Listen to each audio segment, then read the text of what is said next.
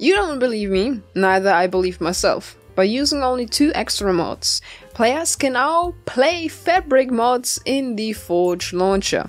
Isn't this amazing? Firstly, one needs the Sinytra connector and the Forgified Fabric API. Also, make sure you are running Forge 47.1.3 on 1.20.1. And as you can see, I have now loaded up Terrestria, a world generation fabric mod, only available for fabric and quilt on Modrinth.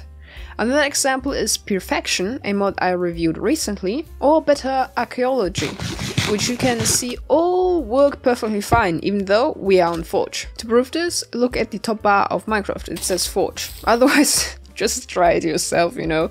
But keep in mind, this connection mod is still in beta, so some fabric mods aren't supported yet or won't work. As an example, for me, it didn't uh, better end didn't work or visuality. But this is still so amazing, and they are working on it. So, it's just blowing my mind. Okay, well. Uh, tomorrow there will be another video, so I hope you enjoyed it, and we'll see us in the next video. Stay safe again. Ciao.